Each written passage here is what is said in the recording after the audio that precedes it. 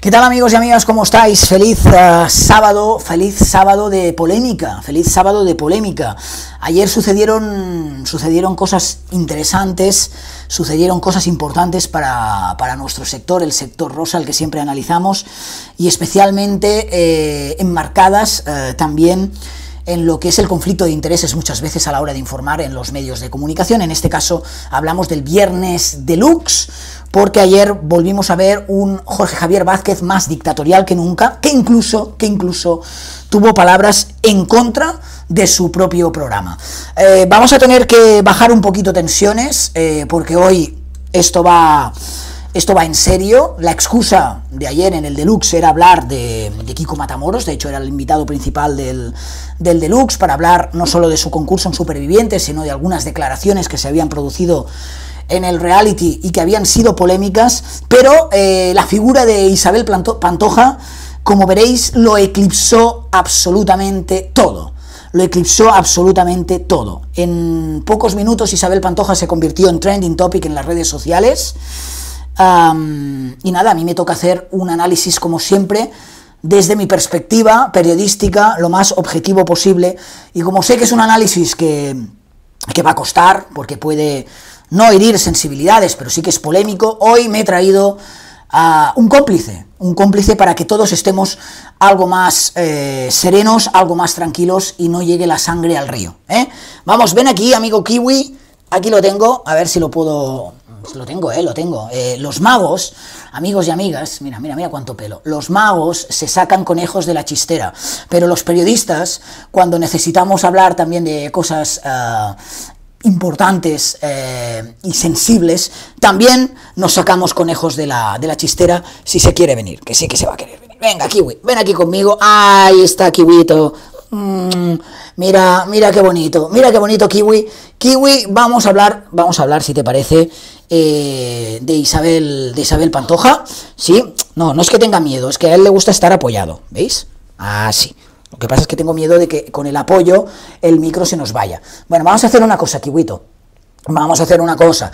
Saludas a la comunidad, ¿eh? Y te dejo en tu hábitat aquí que te, que te he puesto. Ya vais a ver que he quedado con los pelos eh, eh, por todo el jersey. A ver, Kiwito. Venga, vamos a ver. Vamos a saludar a la comunidad. Ahí está la cámara. Mira ahí. Hola. Hola. ¿Tú qué piensas, Kiwi? Kiwi. Isabel Pantoja, ¿qué ha pasado con Isabel Pantoja? ¿Eh? Mm, vale, te dejo aquí. Lo voy a dejar aquí en su hábitat natural. Aquí está, aquí está. Tranquilo, tranquilo. Tranquilo, ya sé que el tema, ya sé que el tema es sensible, también le afecta, ¿eh? también le afecta aunque no lo parezca el tema. Hoy he querido que estuviera aquí Kiwi conmigo, luego para despedirnos lo vuelvo, lo vuelvo a sacar. Esto es una lluvia, lluvia de pelos. Vale, en fin.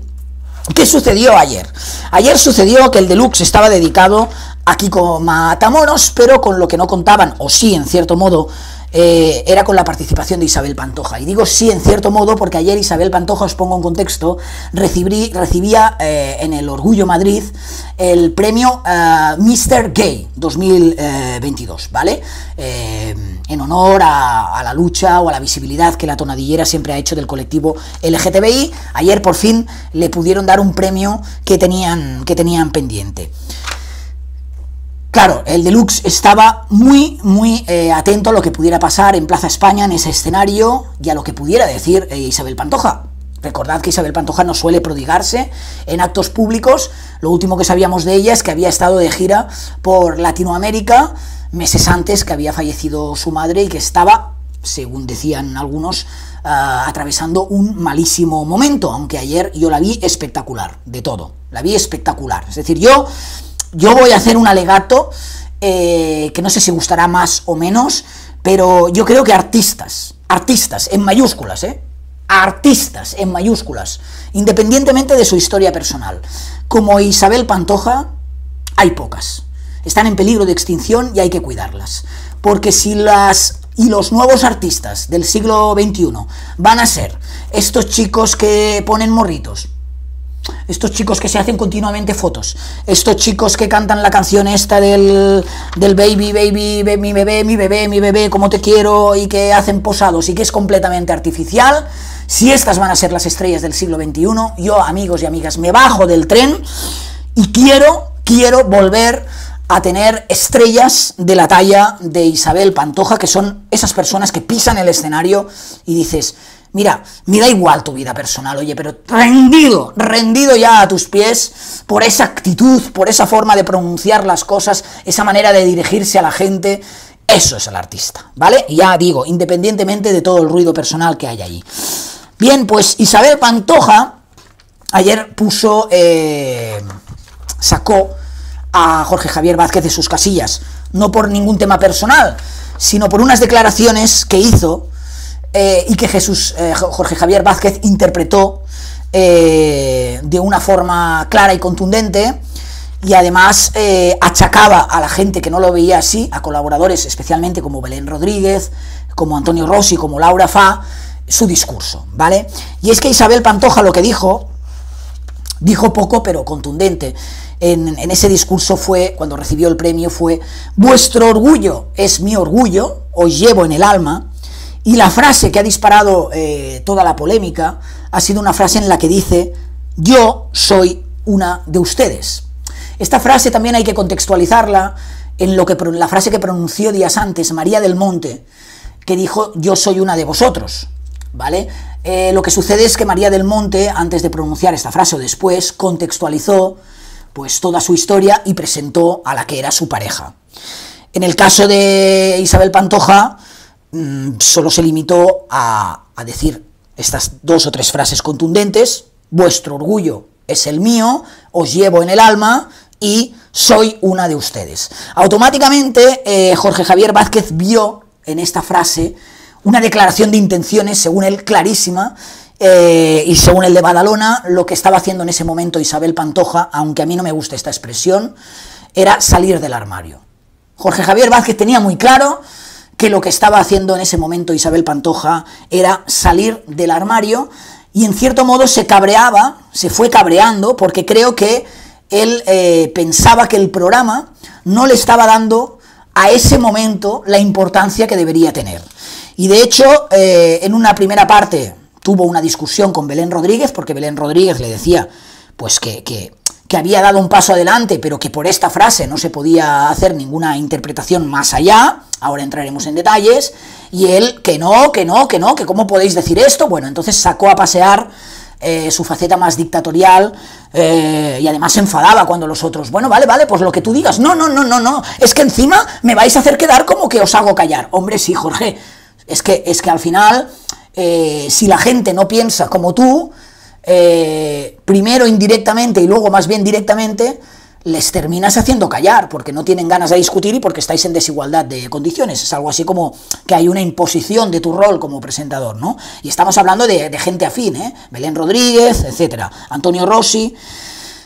Y este es el debate, ¿no? Este es el debate. Lo que pasa es que Jorge Javier se fue calentando, siguieron con Kiko Matamoros, y, hay un momento, lo tengo por aquí anotado, aquí, y hay un momento en el que prácticamente para el programa antes de irse a publicidad y sin venir a cuento, porque no, venía a cuento, en ese momento estaban con Kiko, Matamoros, dice, llevo mucho tiempo callado eh, y quiero decir algo. Y mirando a cámara dijo, hemos dejado pasar una noticia y no hemos sabido ponerla en valor. Mañana todo el mundo hablará de ello. Y dio paso a publicidad. De alguna forma se estaba cagando en las muelas de, todo su programa porque consideraba que tendrían que haber reaccionado y haber, y haber hecho un especial sobre, sobre lo que había dicho eh, Isabel Pantoja al recoger ese premio. Bien, a ver, yo aquí tengo mi interpretación social y mi interpretación periodística, ¿de acuerdo? Voy a ello sin más demoras. Mi interpretación social es que eh, continuamos cayendo en los mismos errores.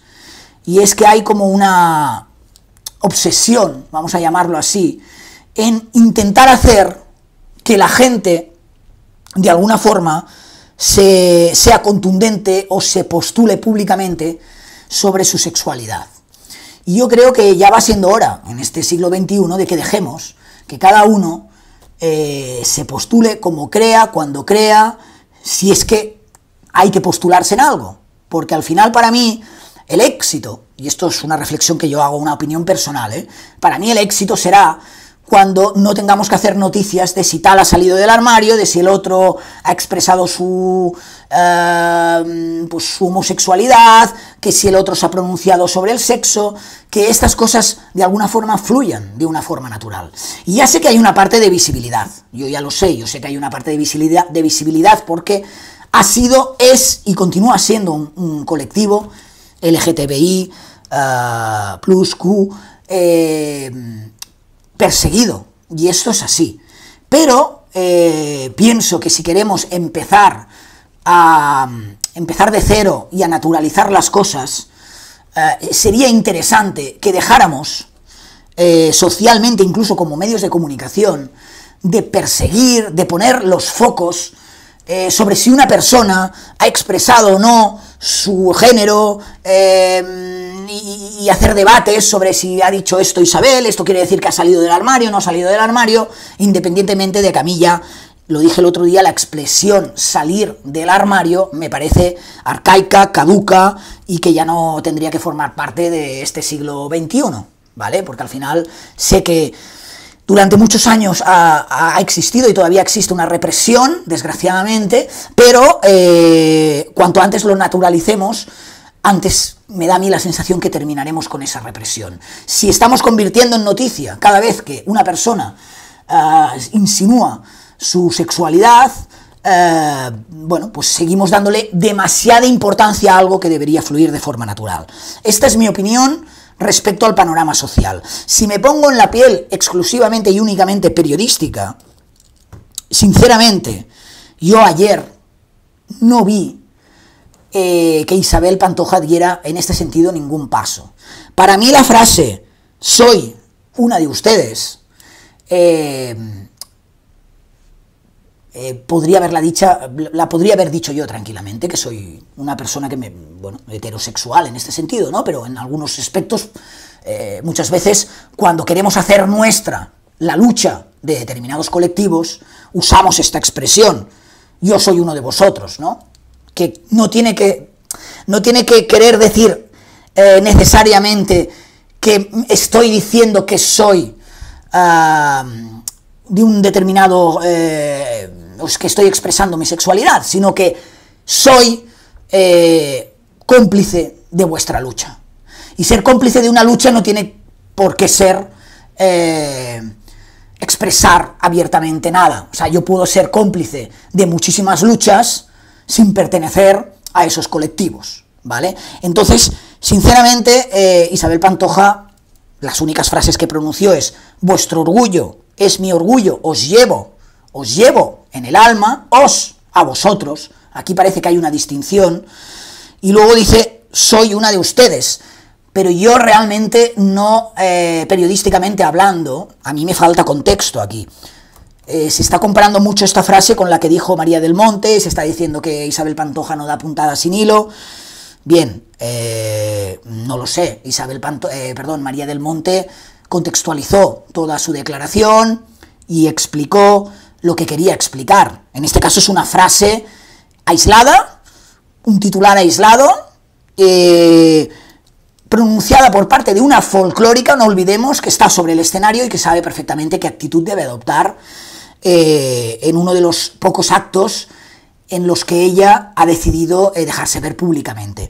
Entonces, no sé ni me importa, sinceramente, si Isabel Pantoja es heterosexual, bisexual, eh, incluso una persona no binaria, me da igual, sinceramente me da igual, esto personalmente, pero periodísticamente, yo solo con este contexto y con esta frase, no estoy de acuerdo, ni mucho menos con Jorge Javier, de que ayer eh, se estaba produciendo ningún hecho histórico.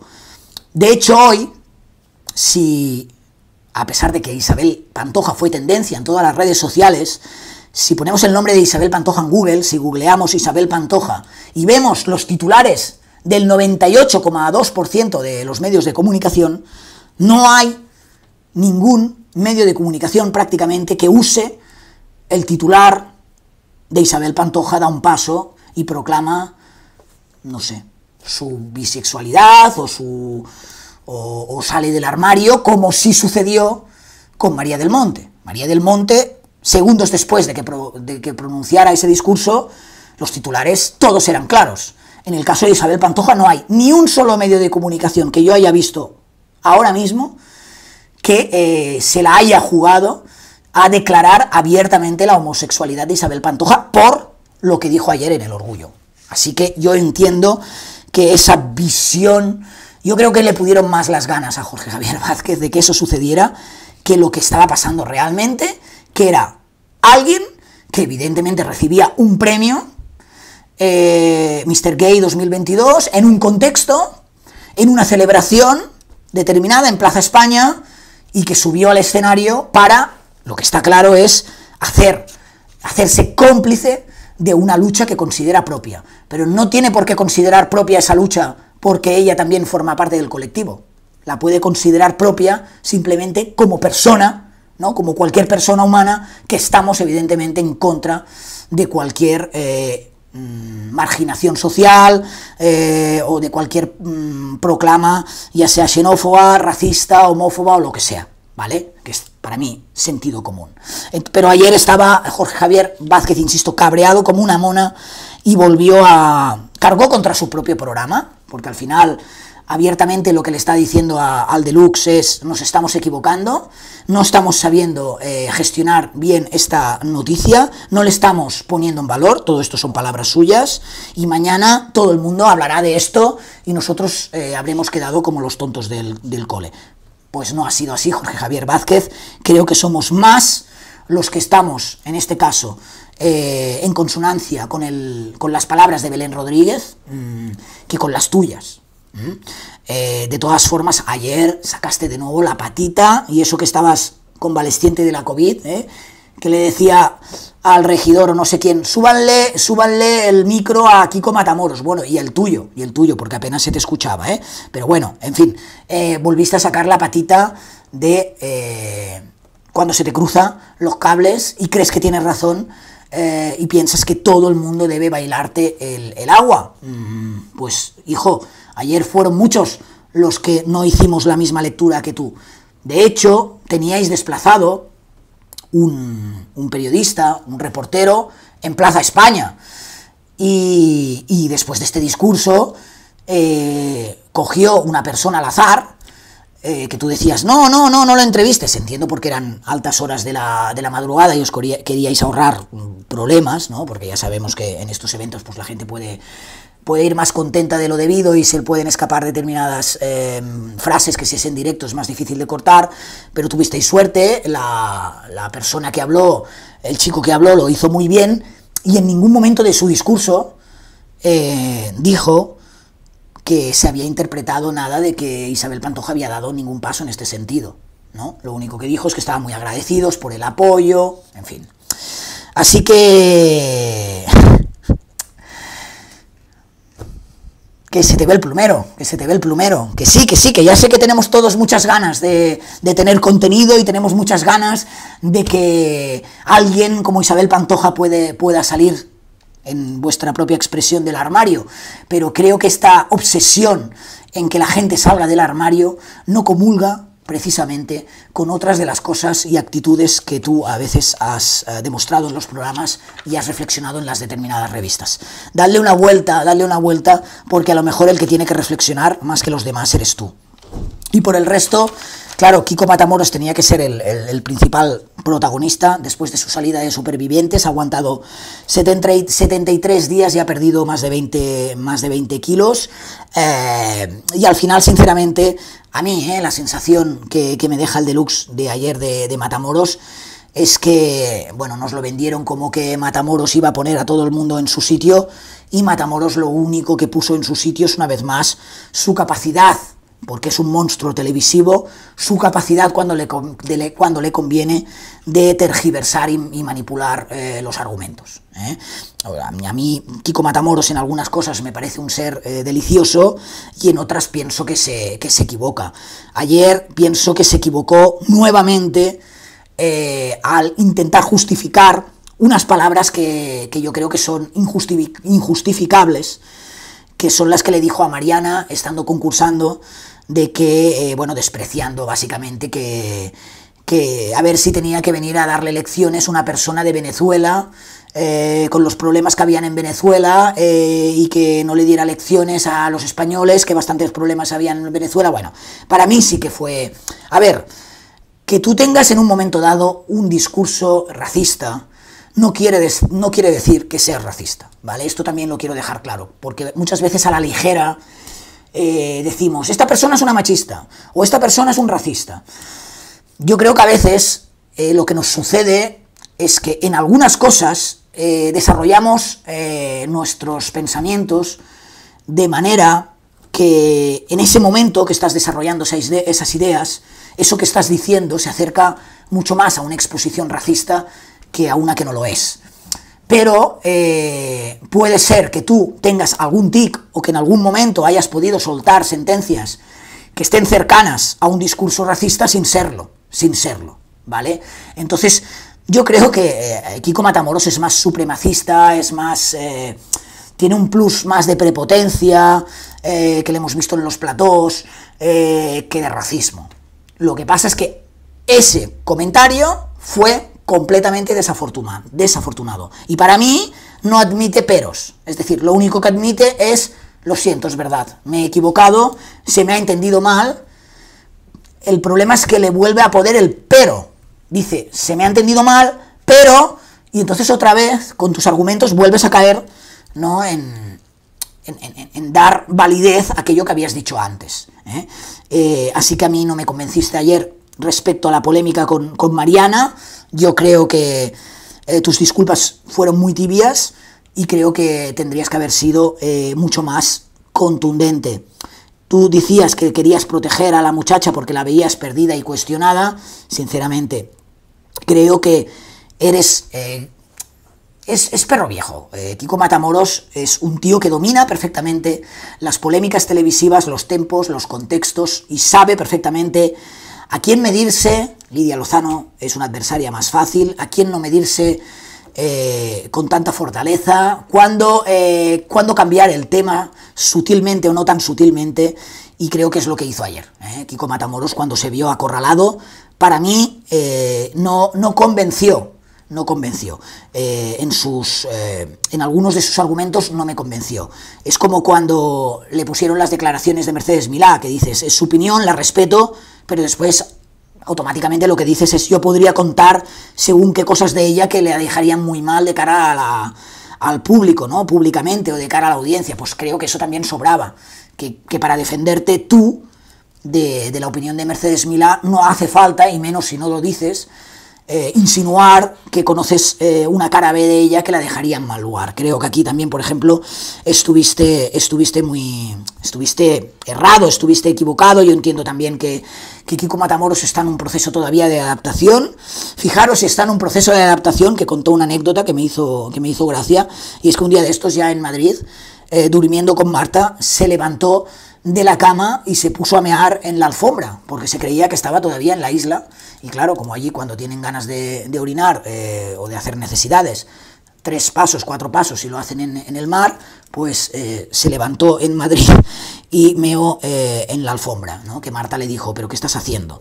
Entonces, Kiko Matamoros puede ser un, un tío afable, agradable, simpático, incluso que que a pesar de tener este carácter eh, agrio eh, y prepotente, eh, le puedes coger cariño, pero pienso que, que algunas veces me afuera de tiesto y que, y que mm, le pierde el orgullo. Es decir, lo veo una persona muy orgullosa, muy cabezota, que antes de darle la razón a alguien, lucha hasta la extenuación su argumento hasta el punto que muchas veces la lucha es absurda, o sea, oye, ya está, te has equivocado, punto, no, no sucede nada. Yo insisto, él dice, no admito que se me diga que soy un racista o un xenófobo. Me parece bien que él defienda esto y quiero hacer esta distinción. Lo digo porque probablemente a mí, pues en, algunas ocasiones de, mi vida habré intentado hacer alguna reflexión, pues que, que, que a lo mejor habré estado desafortunado y puede parecer que esa reflexión sea X o Y, pero esto no quiere decir que, lo seas, ¿no? está claro que cuando, cuanto más sufre eh, Matamoros es cuando le tocan a su pareja Marta y a sus hijos. De Marta dijo que ella, eh, que él estaba tremendamente orgulloso de cómo la había defendido, a pesar de, aquí sí que fue sincero, de entender que era una persona, Marta, que lo pasa muy mal en el medio televisivo, y así es, y así es. Eh, yo también creo, yo creo que era una persona válida para defenderle, pero quizás no tantas horas, tantos días. Yo lo hubiera, lo hubiera liberado a Marta de, de, algún peso mediático, teniendo en cuenta que es una persona que no está acostumbrada al medio y que se ve que lo pasa mal, ¿no? y que le habían molestado, y aquí sí que nos da, a vernos entre líneas, entre líneas, una más que otra, ayer nos hizo dos declaraciones bastante interesantes. Una es que eh, no le gustó nada, dice, no me gustaron ciertas actuaciones que se han hecho con ella, yo creo que se refería a ese día en Sálvame, que Marta López hizo un amago de, irse cuando le, le, habían, había pactado una serie de cosas que luego no se cumplieron. Dice, es un tema interno que tendré que hablar con quien tenga que hablar, ¿vale? Aquí ya dejo un mensaje claro. Y luego hay un momento que pasó bastante desapercibido, yo creo, pero que cuando está explicando la situación con la que se fue a participar a Supervivientes, deja ir eh, algo sobre... Em, a ver... Mm, él dice primero, me fui con una guerra y una pena, sabía que no iba a ganar, pero luego dice, me fui también pensando en mis compañeros por la incertidumbre, creo que usó este término, por la incertidumbre que se vive en el programa. De alguna manera, sin creerlo, yo creo que ayer Kiko Matamoros estaba validando que hay cierta incertidumbre sobre el futuro de, Sálvame, que no sería una noticia, pero que lo diga un peso pesado de Sálvame como Kiko Matamoros, sí que me parece eh, bastante, bastante interesante. Volvió a hablar de sus adicciones, acordaros que en un deluxe en febrero del, 2021 dijo aquello de que era cocaína, que consumía cocaína, vaya, desde los 15 años, y que ahora tenía el, el convencimiento, incluso el compromiso que había adquirido con Marta, de no meterse ya ninguna, ninguna raya más. Lo que sí que confirmó es que había vuelto a fumar, incluso nos dijo que había fumado antes que, comido una vez salió de, del reality. Y también habló algo de sus hijos, porque luego ya se puso todo el tema de Isabel Pantoja de por medio, eh, que habían opinado al principio del concurso. De hecho, la participación o la visibilidad de los hijos, por lo que respecta al concurso de Matamoros, ha ido de más a menos y dice que ellos son libres de, estar pendientes o no de, su concurso, pero que sabía que sí que habían estado pendientes y que habían estado en contacto con su, con su pareja, a pesar de que en algún momento cuando se les había puesto el cucurucho a alguno de ellos eh, parecía más bien, más bien perdido o perdida, en este caso Laura Matamoros, por ejemplo, no se había enterado ni del incidente cuando, cuando perdió un diente, ¿no? Y no digamos ya Anita Matamoros, que creo que dijo públicamente que no seguía, que no seguía el, concurso. Dice que lo que sí que le había jodido es que desde su programa, desde Sálvame, se hubiera cuestionado la capacidad profesional de sus hijos, y aquí pronunció otra de estas frases a veces prepotentes y supremacistas que le sobran es algo así como ya les gustaría al 90% de los españoles estar en la situación de mis hijos. Bueno, sí o no, Kiko.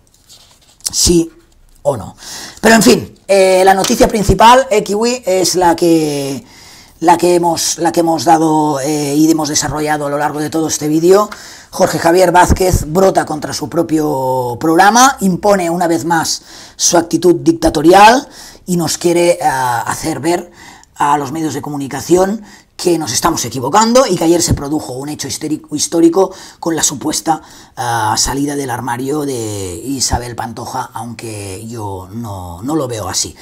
¿Y vosotros cómo lo veis? Eh, ¿Cómo valoráis todo lo que sucedió ayer en el Orgullo? ¿Cómo valoráis lo que os he explicado de, del Deluxe? Me gustaría, nos gustaría, ¿no, Kiwi? A ver, a ver, vamos aquí. Nos gustaría, Kiwi, ¿eh que sí? Aquí, quédate aquí. Aquí, vamos a ver, nos gustaría, a Kiwi y a mí, nos gustaría que nos eh, dijerais vuestras opiniones. A ver, Kiwi, no nos sabemos el número de teléfono.